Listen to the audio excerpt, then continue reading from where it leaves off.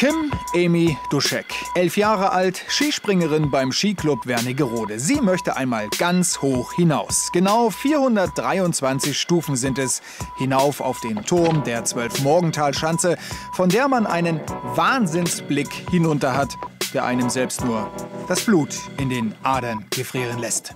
Kim, wenn du hier oben sitzt, hast du irgendwie kein bisschen Angst? Jetzt nicht mehr am Anfang ja, aber jetzt geht's eigentlich. Sagt die kleine Dame und stürzt sich in die Tiefe.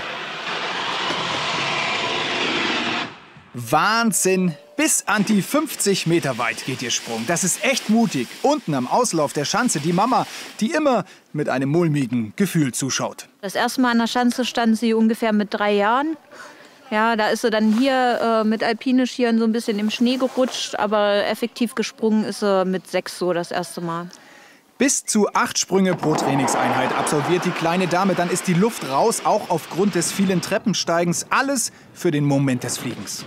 Vor zwei Jahren noch sprang Kimi auf der Schülerschanze mit Weiten um die 14 Meter. Jetzt stürzt sie sich schon von der K63 runter, also von der mittleren Schanze.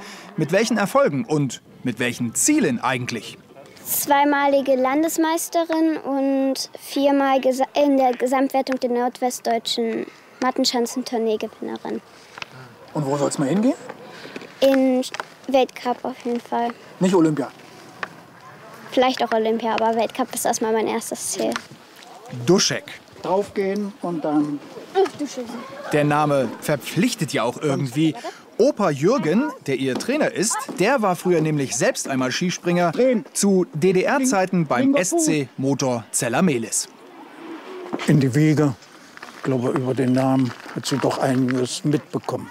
Ihr Großonkel Harald Duschek, der toppt das Ganze sogar noch. Der war viermal DDR-Meister, wurde 1978-79 Vierter bei der internationalen Schanzentournee und hat hier an der Zwölf-Morgental-Schanze einmal genauso angefangen wie Kimi. Ist der Großonkel denn jetzt das große Vorbild? Äh, es ist schon schön, aber naja, für mich jetzt halt nicht so, weil er ist halt männlich gewesen deswegen.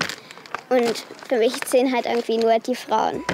Deshalb ist auch sie das Vorbild. Josephine Laue vom SFV Rothenburg. Die 18-Jährige trainiert inzwischen am Bundesstützpunkt Klingenthal. Und genau dorthin möchte Kimi es auch mal schaffen. Am liebsten schon im nächsten Jahr. Kim Amy Duschek, die Überfliegerin aus dem Zwölf-Morgental und unser Ass von morgen.